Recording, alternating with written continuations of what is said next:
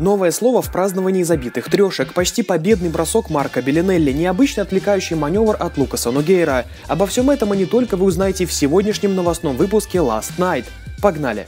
Пожалуй, самая удивительная команда лиги продолжает творить настоящие чудеса на паркете. Если еще кто-то не понял, то речь идет о Мемфис Гризлис. Гризлис привлекли к себе внимание любителей статистики совершенно аномальными цифрами. В концовках у Мемфиса 14 побед при 5 поражениях, а в тех матчах, где медведи проигрывают от 1 до 5 очков, на последних 5 минутах 10 побед при 5 поражениях. Эти показатели очень тяжело поддаются осмыслению, учитывая, что атакующая составляющая команды всегда была отодвинута на второй план. Этот феномен завораживал своей таинственностью и все равно оказался чудом до недавнего времени. С тех пор Мемфис отыграл 24-очковое отставание у Golden State, 15-очковое у Rockets и победил, кстати, в обоих случаях, несмотря на то, что они имели дело с лучшими нападениями лиги. И сейчас уже сложно назвать игру Мемфиса аномалией, когда происходит вот такое.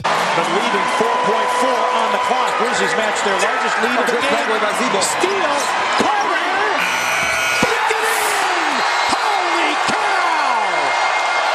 Объяснение подобной игре предлагается хоть и не самое изящное, зато довольно логичное. Последние минуты напряженной концовки – это время, когда Гризли с их вязким баскетболом оказываются в естественной для себя среде, тогда как их бегущие, более расслабленные соперники вынуждены приспосабливаться к замедленному темпу игры, приближающейся угрозе ошибок и акценту на позиционном нападении, в то время как медведи делают все то же самое, что и остальное время – Стараются, вымучивают удачные атаки, выкручивают руки в защите и ложатся костьми в каждом моменте матча. Гризлис заточены на минимум потерь, идеальную дисциплину на своей половине, отсутствие каких-либо панических настроений и достижение результата любым самым малопривлекательным способом.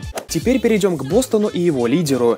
Кажется, между Аленом Аверсоном и Айзей Томасом есть лишь одно различие – не баскетбольный бэкграунд эпохи конце 90-х на фоне философии саморазрушения, ощущения надвигающегося коллапса и яркости героизма в последний день нашей жизни сложно было представить более подходящего героя, чем убивающий себя наркотиками и алкоголем коротышка, который каждым кроссовером посылал всех куда подальше. Никто не докапывался до него с идиотскими вопросами, все просто смотрели и кайфовали от каждого шага и жеста Аверсона. У Томаса есть главное, что отличало Ансвера – несгибаемая сила воли и готовность подставить свои малые габариты под любые удары. С обретением идеально подходящей для него философии и дополняющей его команды все это стало очевидно и позволило понять главное. Айзей не согласен быть читером в Лиге Больших Парней. Он хочет являться ее частью и определять процессы. Томас вышел на пик сезона и вновь стал главным оружием Бостона, выдал феноменальные цифры, реализовал победный бросок с Атланты и заслужил новое прозвище. Но, к сожалению, мы живем во времена баскетбольного прагматизма, когда не столь важно что и как, важен лишь итоговый результат. И Томас в последнее время слышит неуместные и очень обидные слова о том, что он не может играть в защите и с ним Бостону ничего не светит. Что ж, таком случае можно только пожелать Айзее крепких нервов и еще больше побед, дабы поставить на место и заткнуть всех недовольных. Далее поговорим о Никс. Все команды существуют по двум сценариям. Либо они просто плохи, либо со временем они становятся немного лучше и куда-то двигаются. Но слава богу, есть еще и Никс, для которых процесс построения команды представляется практически чудом. Нью-Йорк держался на плаву первые месяцы, удачно обыгрывая плохие команды, и болельщики готовились к тому, что какие-то позитивные процессы начнут происходить, и дальше все пойдет еще бодрее и веселее. Но это же Нью-Йорк. И тут внезапно закончились даже победы над плохими командами, и все погрузилось во тьму. Паразингис борется с травмами, Ноа и Дженнингс не похожи на тех людей, которых Джексон хотел бы видеть в своей команде. Дерек Роуз просто пропал, а Кармела Энтони вновь уперся лбом в вопрос о будущем в Никс. И если дела Нью-Йорка действительно плохи, то Филадельфия с Эмбидом набирает все большие обороты.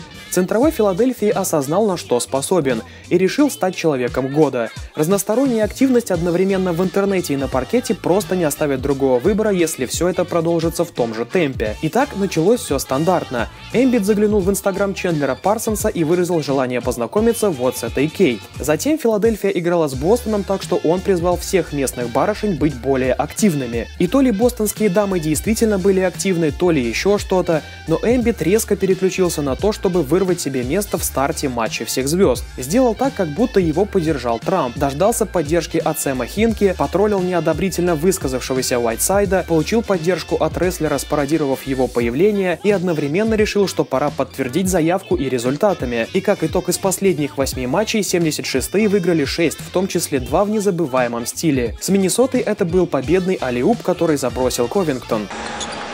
On their feet at Wells Fargo Center. The lob for Covington. Yes!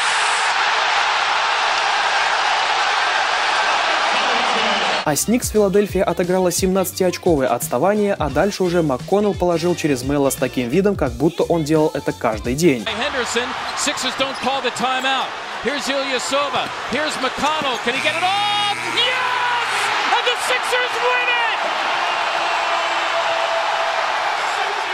Конечно, без Эмбида во всем не обошлось, и теперь он уже намылился не только на матч всех звезд, но и в плей-офф. Так что соперникам нужно быть наготове, а нам остается только наблюдать, во что все это выльется. Теперь перейдем к более коротким и веселым новостям прошедших дней. Новое слово в праздновании забитых мячей принадлежит Нику Янгу. Энергичные взмахи мошонкой в NBA еще не использовались. Хотя нет, использовались, но, пожалуй, не так энергично.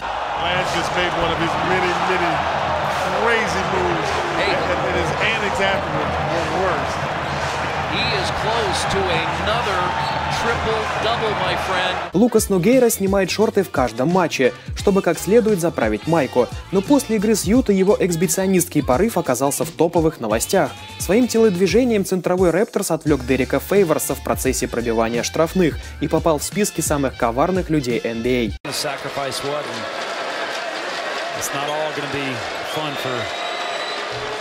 А вот Рассел Уэсбрук продолжает бить рекорды. Все дело в том, что он настолько заточен на разнообразные показатели статистики, что даже в паузах не может себя остановить. And and and. Бывший игрок Локомотива Делейни был посвящен в баскетболисты. Несмотря на свой возраст в 27 лет, это никак не мешает ему оставаться в NBA новичком со всеми последствиями. Look at this. Come home, come to the a fresh, clean truck, and I got the most too. Ну что ж, дорогие любители баскетбола, на этом наш выпуск подошел к концу. Не забывайте подписываться на нашу группу ВКонтакте, дабы быть в курсе всех самых свежих и горячих новостей из мира баскетбола. Также, если вам понравился выпуск, поддержите меня большими пальцами вверх. Подписывайтесь на канал и не забывайте добавляться ко мне в друзья ВКонтакте. Пока! I'm just trying